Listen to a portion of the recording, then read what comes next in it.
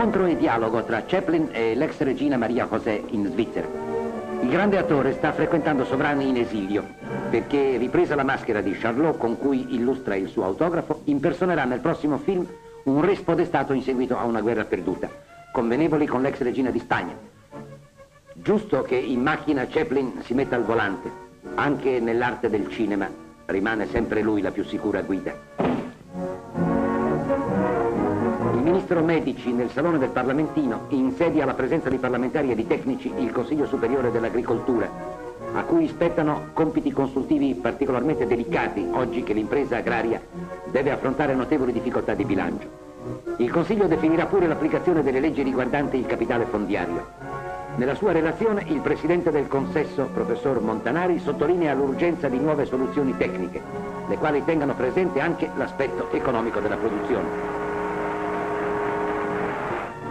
Proveniente da Copenaghen, la più fluida delle reginette americane, Miss Acqua, si chiama Marlene Dolbeck, è nata nello stato più lacustre del suo paese e l'hanno eletta a Indianapolis tra 12.000 concorrenti. È ridente e luminosa come uno dei suoi laghi.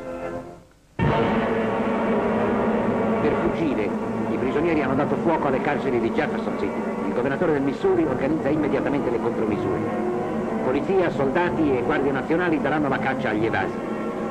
Ridurli alla resa è stata una battaglia in cui quattro guardiani hanno lasciato la vita, 20 i feriti.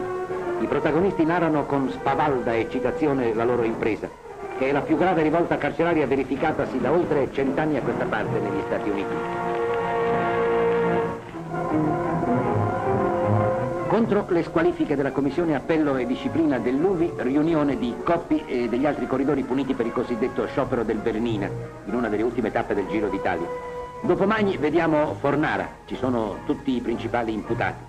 Primo piano d'obbligo per il maggiore Fausto Coppi, ma il reclamo risulterà vano, le squalifiche saranno mantenute.